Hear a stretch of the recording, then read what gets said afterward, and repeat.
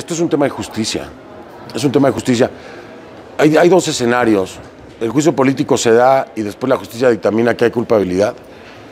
El juicio político se da y después la justicia dictamina que no hay culpabilidad.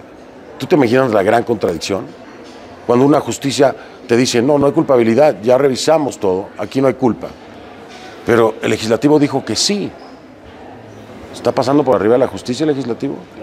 Entonces es, es un tema muy complejo que me parece a mí que los países, todos los países, deberían de dejarlo a la justicia. Una vez que haya un dictamen de la justicia, entonces llévalo al plano político en el legislativo. Si tú me dices a mí, la justicia dictaminó culpabilidad, entonces voy al juicio político.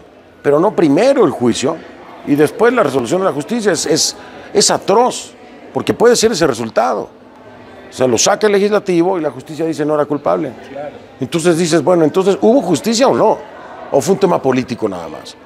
Entonces yo no, yo no me quiero adelantar a nada, yo, yo le dejo al legislativo su tema político, hay mucho golpeteo, eh, el partido en el poder no tiene la fuerza en el legislativo, evidentemente.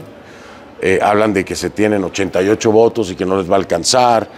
En fin, no lo sé qué va a pasar. Para mí, la prioridad es esperar que, a que la justicia determine qué es lo que, lo que es, culpable o no.